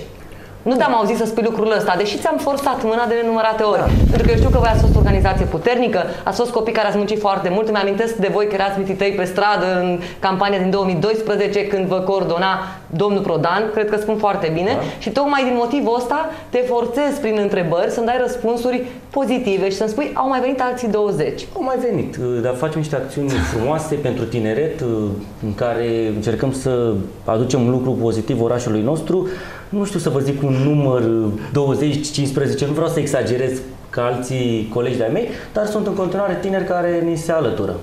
Doamna Rotaru, luați mai ușor, că sunt copii buni, să știți.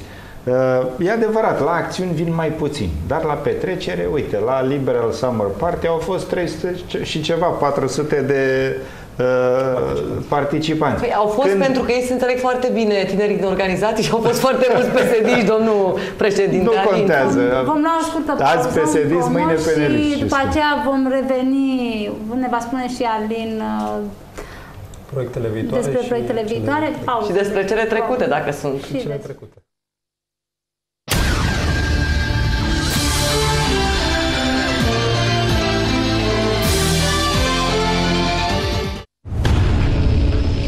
În direct la Valahia TV. Dezbatem împreună o emisiune pe teme politice, administrative și sociale. Dezbatem împreună, decidem împreună. Nu pierdeți în fiecare luni de la ora 20 emisiunea Dezbatem împreună.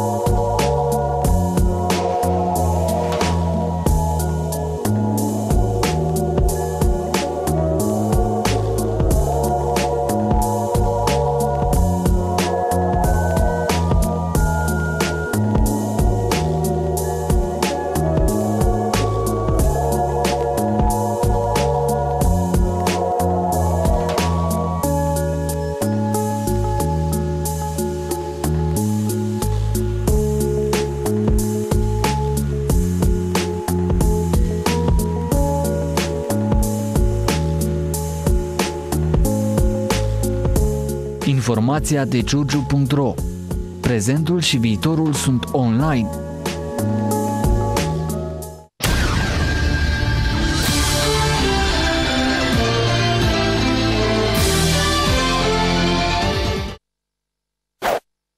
Pentru sănătatea dumneavoastră, evitați excesul de sare, zahăr și grăsimi. Am revenit în direct alături de invitații mei din această seară și pentru cei care au deschis televizoarele mai târziu, amintesc că se află în studioul Valahia TV domnul Gheorghe Ștefancu, președinte al PNL Giurgiu, alături de tinerii din organizația județeană, Alin Guțu și Emilie Pure, președintele organizației municipale. Am uh, vorbit până acum despre activitatea, activitatea PNL-ului. A rămas uh, să ne spună și Alin dacă au venit tineri la nivelul județului. Am, ai spus mai devreme că vor fi și candidați, uh, sunt mai noi, membri mai noi sau membri mai vechi des, și aș vrea să ne vorbești despre activitățile viitoare ale organizației Sigur. Uh, ne bucurăm foarte tare că alături de noi vin tineri care uh, pot vedea în partidul nostru și un, poten, un potențial, o potențială lampă, rampă de lansare Uh, avem tineri din anumite localități, fiindcă suntem organizație județeană, automat trebuie să ne gândim și uh, să ne-am, ne-am extins uh, activitatea și în teritoriu, în județ și sunt tineri din câteva localități, localități care chiar vor să candideze și să-și asume acest, această responsabilitate, să candideze pentru funcția de primar pentru, pentru anul 2016. Uh, ca și proiecte trecute am, ne-am axat pe proiecte care s-au desfășurat în uh, multe localități din uh, județul Giurgiu. Aș aminti aici că a fost și domnul președinte alături de noi, de câteva localități Frătești, Oinacu, Gogoșari, Vedea, care au fost în raza noastră de acțiune. Uh, apoi am avut uh, acțiuni la Roata, unde de 1 iunie s-a oferit uh, multor copii, chiar dacă nu am anunțat pe presă acest eveniment, cu sprijinul organizației de tineret de acolo și al președintelui PNL. Am oferit la peste 100 de tineri, peste 100 de copii, jucării și dulciuri. Uh, au fost uh, activități cu diferite ocazii. Știu că mm, de multe ori suntem întrebați de ce facem acțiuni doar cu prilejul uh, Crăciunului, a Paș, al Paștelui, dar avem și noi un buget limitat și aici este, ne limităm la acest buget. Ehm, și ca și proiect viitor, uh, pentru această toamnă ne-am uh, gândit să facem un, uh, o gală în Giurgiu, în municipiul Giurgiu, să facem, să creăm perspectiva tinerilor talentați din județul Adică Giurgiu. un next star de Giurgiu, nu? Se ocupă Elena Marin, din ce știu. Un de Giurgiu. Nu știu, s-ar putea să fie o, o similare, o, o similitudine între idei, că am înțeles că se, se practică, se păi, inițiază un astfel de proiect. Este tot ceea ce are nevoie Giurgiu de vedete. Noi ne-am gândit că pentru tinerii din mediul rural ar fi o ocazie ca să, să se lanseze unii dintre ei și să-și arate adevăratele talente prin sprijinul nostru. Automat că în mediul rural condițiile sunt mai precare. Cui aparține această idee? Uh, ideea aparține unei uh, colege, uh, a venit cu proiectul, îl avem deja în dezbatere, am, este vorba de Elena Marin, ea a venit cu ideea și vrem să o punem în practică în toamna acestui an. Ne-am și gândit, bineînțeles, să vedem cum vom sta și ce anume nevoi vom avea pentru acest proiect. Este un proiect destul de amplu, vrem să facem uh, în diferite localități mari din uh, județ uh, un fel de preselecții și apoi finalul va fi în municipiul Giurgiu. Poate că ați avut semnale că în județ există foarte mulți copii talentați și nu există această rampă Așa de lansare, este. pentru că aici chiar vorbim de o rampă de lansare. Poate da. s-a părut puțin că sunt răutăcioasă, dar știu nu, despre nu, proiectul nu, vostru, pentru că mă voi alătura vouă și voi prezenta acest spectacol. Deci nu a fost răutăcioasă deloc la Am propunerea înțeles. colegei voastre. Am înțeles perfect atunci. N-am știut uh, amănuntul acesta, e o surpriză și pentru mine. Uh, da, deci uh, ne bucurăm foarte tare. Noi am fost prezenți la alături de o fundație, se numește Casa Tuturor, este o fundație pentru persoane cu dizabilități din nordul județului. Am participat la un eveniment care a avut loc la București, la sala Dales și acolo am văzut că au venit foarte mulți tineri, au venit chiar un număr impresionant de tineri din uh, județul Giurgiu, care au cântat, au dansat, uh, au diferite talente la au desenat, au, deci foarte mulți tineri talentați care am rămas uh, impresionat de numărul acestora. care au participat la acest eveniment. Și de atunci ne-a și venit ideea, de atunci a început să ia naștere această idee cu acest este proiect. lăudabilă inițiativa voastră, sunt convinsă că o veți duce la bun sfârșit. Este un și proiect că... greu. Da, este un Foarte proiect greu, greu. într-adevăr, însă până la urmă orice lucru este greu. Până, Așa dacă va fi un succes, cu Mai siguranță ales să va găsești fi. un candidat pentru primărie, pentru Da. 2016, este foarte Vom greu. vorbi și despre, a venit momentul să discutăm despre candidații pentru primăria municipiului Giurgiu, dar și pentru Consiliul Județean. Uh, și dumneavoastră, domnule Gheorghe Ștefan și domnul Dumitru Beianu, Beianu, ați vorbit despre domnul deputat Nicolae Florian. Uh, s-a spus că au fost negocieri. În ce stadiu sunteți cu aceste negocieri și dacă Nicolae Florian va fi candidatul PNL-ului pentru alegerile din 2016 la primăria municipiului Giurgiu? Și nu vă întreb întâmplător, astăzi a avut loc conferința județeană a PSD-ului, iar domnul Nicolae Florian a fost marele absent. Da, nu ascund faptul că am avut discuții cu domnul deputat uh, Nicolae. Am spus-o de multe ori, îl apreciez foarte mult, mi-l doresc în Partidul Național Liberal, mi-l doresc ca primar al municipiului Giurgiu. Ce să vă spun, negocierile sunt în continuare deschise, dar sunt cam pe final. Faptul că domnia sa astăzi nu a candidat la nicio funcție în uh, cadrul uh, Partidului Social Democrat spune foarte mult. Personal consider că pot să fac echipă cu domnia sa, îl pot sprijini, dar aici aș vrea să am un comentariu. Pentru Consiliul Județean, știți bine că acum se candidează pe liste, Pe listă. candidează toți consilierii. Și eu o să candidez. Uh, Dar în condițiile în care astăzi fac echipă cu domnul uh, Beianu, având în vedere, luând în calcul experiența domniei sale administrativă și profesională, eu văd o echipă lucrativă foarte performantă, Florian Nicolae primărie, domnul Beanu Dumitru, președinte de Consiliul Județean. În ultima perioadă s-a vorbit tot mai des Uh, despre... Din punctul meu de vedere, are toți, au, amândoi au tot sprijinul pentru a ocupa aceste funcții. Sigur, v-am spus că o să facem niște sondaje, niște cercetări sociologice, dar în cazul celor doi sunt convins de pe acum că uh, vor fi de departe în pole position, vor fi situați cel mai bine. De ce spun că mi-ar place să câștige amândoi cele două instituții? Pentru că, și nu pentru patru ani, Cine îmi spune mie că poți să faci ceva ca primar sau ca președinte de Consiliu Județean în patru ani, să înșeală. Trebuie să venim cu un proiect pe cel puțin 8 ani, cu bugete comune din cele două instituții, primărie, Consiliul Județean, astfel încât să poți să faci proiecte de anvergură pentru cetățeni. Dacă ne vom limita iar la licitații de 2 bani, la 5 metri de drum sau la nu știu mai ce, nu ajungem nicăieri. Asta din punct de vedere administrativ. Îmi doresc pentru județul Giurgiu să atingem la modul cel mai serios două dintre cele mai grave probleme. Prima, mi se pare educație. Ați văzut promovabilitatea la bacalaureat la jumătate sau mai j- puțin de jumătate față de Cluj, care a fost cel mai mult. Ați văzut ce s-a întâmplat zilele trecute și cu profesorii care vor să ocupe E o problemă, sunteți tinere, aveți copii la școală, vă, ei vor avea copii. Pe toți îi preocupă problema educației. Dacă n-ai educație, n-ai nimic. Deci cred că trebuie să inițiem, să producem un proiect pentru județul Giurgiu legat de educație și de problema locurilor de muncă.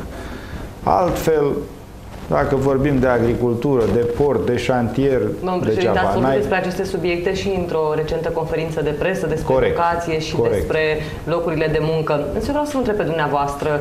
A spus că îi susțineți pe domnul Dumitru Beanu pentru Consiliul Județean, pe domnul Nicolae Floricel, în eventualitatea că și el vă vrea pe dumneavoastră ca partid și va trece într-un final Sper către ca domnul... PNL. Da, vă Uh, rog. Dar dumneavoastră, ce obiectiv politic aveți? Ați ieșit în conferință de presă în urmă câteva luni și spuneați că gândiți pentru uh, candidatura la președinția Consiliului Județean. Astăzi, care este obiectivul dumneavoastră politic?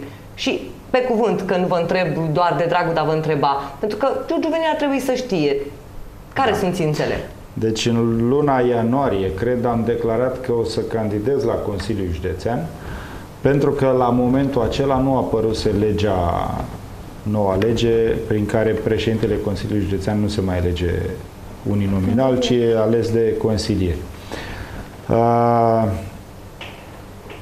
targetul meu este să fiu parte din echipa care să facă ceva pentru județul Giurgiu, vedeți, n-am obiective, nu vreau să fiu moț, nu vreau să fiu vârf, nu vreau să fiu nici acolo, nici dincolo. Vreau să fiu parte din această echipă serioasă, care în următorii 8 ani de zile să vină cu niște proiecte și o să venim cu proiecte de anvergură, iar eu, pentru mine personal, Gheorghe Ștefan, probabil că o să-mi rămână să candidez pentru parlamentare și eu să fiu puntea de legătură între județul pe care îl servesc, județul Giurgiu, și autoritățile și instituțiile din județul Giurgiu și București, ministere, parlament, ce vreți noastră. Să știți că în, asta o spun în condițiile în care mi-am găsit un partener, în domnul Bean. Și am totală încredere. Pentru că altfel, cum să vă spun, degeaba aș fi eu Ștefan Gheorghe, președinte de Consiliul Județean, dacă la București n-am un partener care să-mi faciliteze anumite drumuri. Totuși, ora exactă să dă de la București. Dacă ești un președinte de Consiliul Județean care vii dimineața la 7, la 8 și pleci la 9, la 10, la 12 noapte și stai în clădirea aia, în conserva aia urâtă, apropo și de asta, trebuie făcut ceva cu clădirile două, că strică arhitectura total. Uh, deci dacă stai toată ziua în Consiliul Județean și nu vii cu proiecte de anvergură, degeaba ești președinte de Consiliul Județean. Și eu nu vreau să fiu așa ceva. Spuneați la începutul emisiunii că aveți așa un regulament interior la partid, să nu vorbiți rău despre colegi, rău despre colegii noastre din partid. Îmi pare că vorbiți puțin răutăcios de adresa. De, de clădire? De fapt că un președinte de Consiliul Județean da, stă de dimineață... Că domnul Mustățea stă. Eu am spus că nu vreau să fiu un președinte de Consiliul Județean care vine dimineața, pleacă seara, în dorința de a rezolva problemele, pentru că nu le poți rezolva dacă n-ai un sprijin, n-ai un partener real în Parlamentul României, un partener real, cum aș fi eu, care să cunoască toți miniștrii, toți membrii din cabinet și să te ajute să promovezi proiectele de care comunitatea are nevoie. Deci, a vorbit la general, domnul Ștefan. La modul general am vorbit. Nu, nu. s-a referit la domnul, Ște- la domnul Doamna Vasile Rotaru. Am înțeles. Doamna Rotaru. Chiar dacă bunicul juventul înțelege că a fost un pic, dar nu, nu știu dacă știe lui programul domnului Mustățea. Nu știu ce program are, la ce oră vine, la ce oră pleacă, dar vă foarte... spuneam ipotetic Deși că nu vreau ar să trebui fiu... să știți, domnul președinte. Acum. Pentru că v-ați făcut apariția la ultima ședință a Consiliului Județean, ați apărut acolo, ați apărut doar așa de imagine sau aveați ceva de pus la punct împreună cu consilierii dumneavoastră? Am avut ceva de pus la punct, s-a pus la punct și am plecat. Nu pot să-mi permit să-mi pierd timpul. Timpul e foarte prețios. Și atunci ne întoarcem la monopol. Mai, mai avem foarte puțin timp. Vă rog. Nu, nu ne întoarcem la monopol, ci probabil... Ba, da, da, la monopol. La monopol. Domnul Ștefan, la acea ședință de Consiliul Județean, a vrut să vadă ce se întâmplă cu cele trei proiecte de hotărâri cu ADI-urile. Pănuiesc că despre asta este vorba. Da, era vorba despre cele trei proiecte de hotărâri. Uh, vedeți, noastră... Am să timp... o discuție cu domnul Mustățea, noastră și domnul Beanu, da, cu pentru că, da, între timp politic s-au schimbat anumite situații de fapt și trebuia să rezolvăm uh, această problemă a ADI-urilor, care n-a fost o problemă creată și pusă pe ordinea de zi de consilierii PNL. Și în condițiile în care ai președinte de Consiliul Județean PNL și avem totuși o majoritate, uh, trebuie să văd și eu despre ce este vorba. Și n-am fost de acord cu această inițiativă. Ne-am depărtat puțin de candidaturi, am plecat de la candidaturi și am ajuns Totuși, la... Mariana, mai am o întrebare da, și îmi cer scuze la, scuze la invitații noștri mai tineri pentru domnul Ștefan. În eventualitatea că domnul Nicolae Florian nu se va hotărâ să treacă către partidul pe care dumneavoastră îl reprezentați, PNL, cu toate că ați ieșit cu surle și trâmbite în toate conferințele de presă și a spus că susțineți nu dumneavoastră, Gheorghe Ștefan și alți colegi ai dumneavoastră. Am spus că și eu. Există loc și pentru altcineva? Repet, în Partidul Național Liberal, filiala Giurgiu, avem foarte, foarte mulți oameni valoroși. Dacă noi vom avea știința să scoatem la suprafață... Aveți atât de mulți oameni valoroși încât Da. a fost o luptă crâncenă Vi pentru se asta. pare în că al doilea domnul copreședinte, Popazul nu domnul este, vi se Gheorghe pare că, Ștefan. păi tocmai atunci când ai oameni valoroși, e o luptă acerbă, ceea ce s-a și întâmplat, nu? A fost greu să discerci și să alegi dintre oameni valoroși, dar mă Domnul bucur- Popazu a mă declarat bucur într-o că conferință s-a de ales- presă că nu intenționează să candideze la primărie. Îl cunoaștem foarte bine, este un om de mare calitate, este purtător de cuvânt în cadrul partidului dumneavoastră. Nu, spuneam că e un om de valoare, atât am spus. N-am spus că o să candideze. Avem și alte variante sau putem găsi și alte variante, dar trebuie să, ins- mă rog, nu trebuie să insistăm. Uh, Mizez pe discuția pe care am avut-o cu domnul Florian, pentru că și domnia sa ca să iasă primar și își dorește să fie primar și nimic altceva, asta am înțeles din uh, discuția pe care am avut-o, îi trebuie să aibă în spate un partid mare. Nu poate să iasă primar cu un partid mic. Dacă domnia sa va alege o orice altă variantă să candideze din partea altcuiva sau ca independent, asta n-ar face nimic altceva decât să netezească drumul spre victorie domnului Barbu, care între noi fie vorba nu mai merită un al doilea mandat, chiar dacă a produs 7000 de locuri de muncă în Giurgiu. Aș vrea să aflu și părerea tinerilor liberali despre o posibilă candidatură a domnului Nicolae Florian. Știu că Emil a făcut multe activități împreună cu Asociația Unis pentru Giurgiu, acțiuni la care a participat și domnul Nicolae Florian.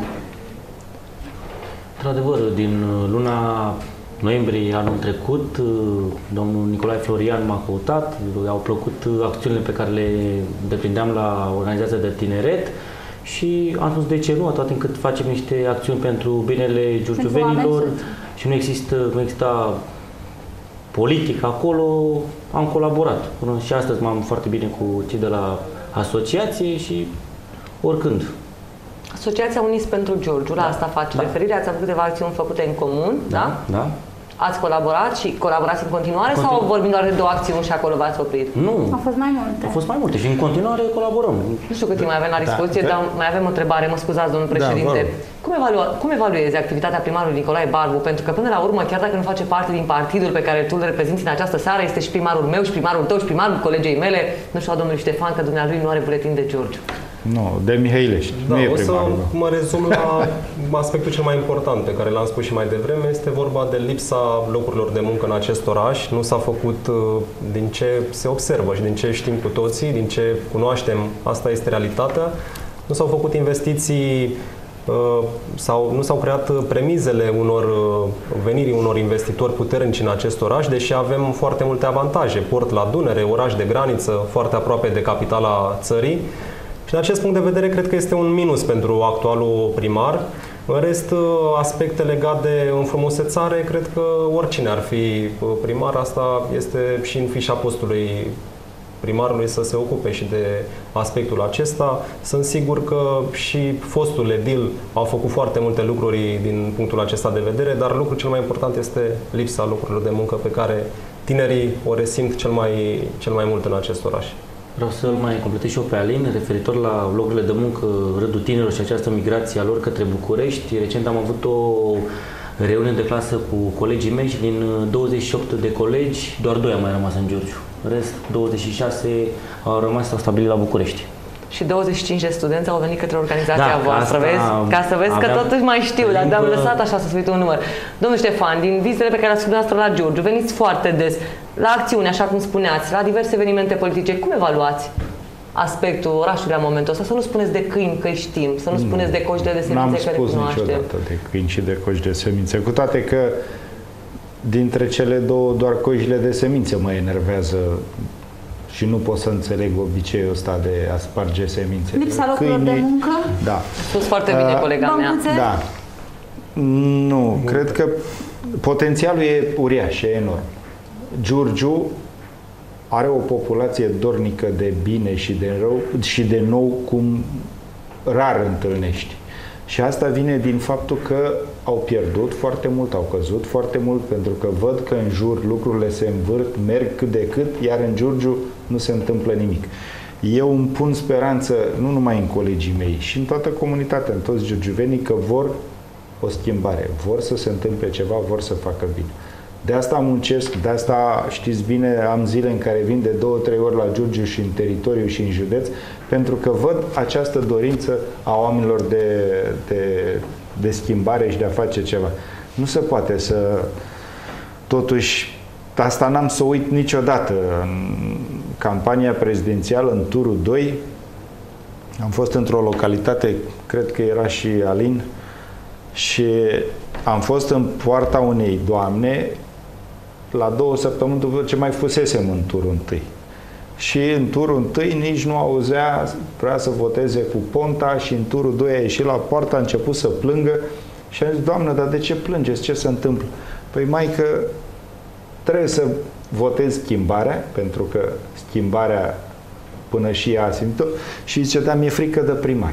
Ei, trebuie să lăsăm fricile astea, trebuie să votăm schimbarea. Domnul președinte, domnul primar Nicolae și, Barbu... Și rețineți, cine vine cu proiect, dar sper să nu o facă și PSD, uite, acum e ideea noastră, cu proiect pe patru ani, în patru ani nu poți să faci nimic. Nu se întâmplă nimic. Domnul primar Nicolae Barbu are o nelămurire. Noastră sunteți doctor în pești sau peștele doctor? Uh, data viitoare o să vin și cu lucrarea de doctorat și cu diploma. Sunt doctor inginer în acvacultură.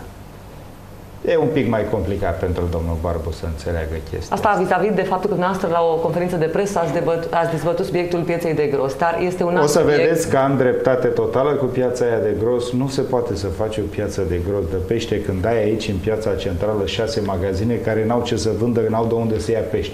Ca să vinzi, să faci o investiție de un milion jumate pe banii cetățenilor și să vinzi 100 de kilograme de pește, eu pun pariu cu dumneavoastră că peste 5 ani de zile piața se va, bine, se va închide între timp, că e pe banul public și nu costă. Acum sunteți dumneavoastră răutăcios. Aici vorbim despre un proiect, despre crearea da, câtorva nu, locuri de muncă. să fiu uh, concret și real, asta e o să fie realitatea, că totuși am 30 de ani de aceasta va fi experiență. realitatea.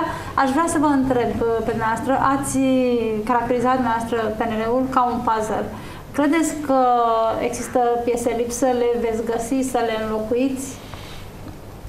Chiar dacă există, piesele lipsă se găsesc sau înlocuitori, pentru că avem proverbul românesc că nimeni nu e de neînlocuit niciodată. Cu atât mai mult într-un partid mare cum e PNL George.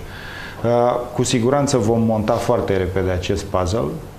Avem semnale încurajatoare și pozitive că foarte mulți primari și foarte mulți oameni vor să vină către noi, iar în ceea ce îl privește pe domnul Florian și venirea domniei sale la noi, Până la urmă nu ne grăbim foarte tare, nici noi, nici domnia sa, pentru că domnul Florian Nicolae nu are nevoie de notorietate. Are o notorietate suficientă ca să candideze și mâine la primărie. Sunteți optimist acum în așteptarea domnului deputat Nicolae Floricel către PNL, dar ar trebui să vă grăbiți pentru că urmează acea perioadă de care vorbeam la începutul emisiunii de de? campanie preelectorală, domnul președinte. Mai avem până Și atunci, adevărat, mai așa avem, este, mai domnul avem. Nicolae Floricel are foarte mult, Floricel, Hai pentru să toată facem lumea. lucrurile așezate Are foarte și multă bine. notorietate. Păi, dar vă chinuiți de mult să vă așezați dumneavoastră copreședinții PNL. Aoleu, Și m-ați de-abia omorât ce- cu cop- Uite că avem copreședinte, gata. A ieșit fum păcoș- al păcoșul de la Parlament. Visăm marțea prea mult, trecută, domnul președinte. a- Haideți, avem un suntem la Giurgiu, copreședinte, micuța da. noastră urme aici unde avem atât de multe locuri de pe muncă, care eu o atât de iubesc mulți și m-am politicieni. îndrăgostit și mă simt foarte bine. Așa că, uite, o să-i las pe cei doi să conducă, eu o să fac un pas în spate, eu o să mă ocup de partid de muncă, iar ei doi să fie Nu vă văd gospodarii niciodată să județului. faceți un pas în spate. Mi-este greu Păi, să cred. Nu, nu, un pas în spate, îi las pe ei să administrativ, Îi va să fie îndruma din gospodarii, spate, iar eu înțeles. rămân politic. Pentru Am că mi înțeles. se pare, nu mi se pare în regulă, dar că am ajuns și cu asta nu mai zic nimic. Un președinte de Consiliu Județean nu trebuie să mai fie un președinte de organizație județeană. Pentru că dacă ai și putere administrativă și politică, atunci devii coruptibil, devii target, devii țintă și nu e în regulă. Păi vedeți că domnul președinte Vasile Mustățea și-a gândit pașii în urmă câteva luni și a dat demisia din funcția de președinte al organizației județene. Mulțumesc, Marian, A am ajuns fost, la final. a fost uh, bolnav, din câte am înțeles eu. Am ajuns la finalul emisiunii, însă înainte de a pune punct uh, acestei dezbateri, aș vrea să ne spuneți dacă, din punctul dumneavoastră de vedere, lucrurile s-au liniștit în PNL și, în câteva cuvinte, ce va urma? Va urma reconstrucția puzzle-ului de care vorbeam. Lucrurile, eu cred că s-au liniștit. Cei ce au avut dubii și n-au înțeles cum stau lucrurile, uh, au făcut și vor face un pas înapoi. Le-am spus, sancțiunea este excluderea din partid. Uh, inamicul meu politic și al nostru ca Partid Național Liberal este și va rămâne totdeauna, ideologic vorbind, Partidul Social Democrat. Ca inamic politic. Dar dușman pentru mine, Ștefan Gheorghe, cât sunt președintele acestei organizații județene, e cel ce stă în interior și îmi demonstrează că acționează împotriva intereselor uh, partidului. Cu așa ceva nu sunt și nu voi fi niciodată de acord și cred că ei au înțeles lucrul ăsta că nu e de glumit și nu e de joc. Ori vor să muncească, păi nu rămâne de văzut nimic. Din punctul meu de Pentru vedere, de e subiect tabu. Pentru noi presa rămâne de văzut. Știți cum dacă... se spune? Uh, ei știu că noi îi știm, dar și ei știu că noi știm de ei ca să facem un joc de cuvinte. Ce bine vă înțelegeți în Partidul Național Alin, Liberal. știu că voi pregătiți acum o acțiune, scurt, este vorba despre școala de vară. Da, este vorba de școala de vară. Tinerii din organizația județeană, municipală și cei juniorii din clubul elevilor vor putea să participe în limita la un, la un număr pe care îl avem pe fiecare filială. Este vorba de o școală politică care se va organiza anul acesta în Constanța, în stațiunea Eforie Nord. Ehm, acolo se dezbat, uh, sunt diferite uh, traininguri la care uh, vom participa cei care vor merge la această școală politică de vară. Se va desfășura pe parcursul la 4 zile, de pe 3 până pe, până pe 6 septembrie. Sper să fie un real succes, așa cum au fost toate școlile de vară organizate până acum de TNL România. Emil, Giurgiu nu florește cu tine? Sâmbătă are loc premierea, în continuare vom uh, încheia această vară cu două concursuri sportive, un uh, concurs de not și un uh, concurs de judo, pentru ca la început de luna septembrie să avem o, cea de-a treia ediție a unei acțiuni care ne este nouă dragă, în care încercăm să ajutăm cât mai mulți tineri la început de an școlar cu, cu rechizite, îndemn pe colegii, colegii mei, colegii noștri să aibă în continuare încredere în conducerea organizației de tineret, în conducerea seniorilor, că vom face tot ce ne stă în putință să nu le dezamăgim așteptările. Cristina? Eu ce aș putea să spun decât aștept, așa cum a spus domnul președinte la un moment dat, că își pune speranța în acești tineri, aștept să-i regăsesc pe listă, pe listele alea precise, sigure, validate. Aștept momentul în care domnul deputat Nicolae Florian, Floricel, cum îl știu Giulgiu Veni, se va hotărâ, dacă nu să vină cu o altă propunere.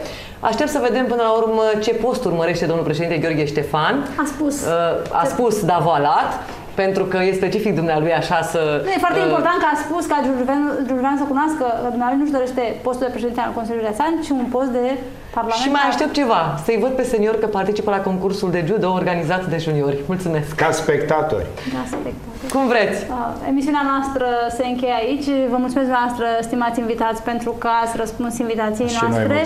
Le mulțumesc colegilor mei pentru că fiecare seară de luni sunt alături de mine. Vă mulțumesc noastră, dragi giurgiuveni, pentru că ne-ați urmărit până la final. Vă urez o săptămână frumoasă, o săptămână liniștită. Ne vedem săptămâna viitoare de la ora 20. O seară frumoasă în continuare.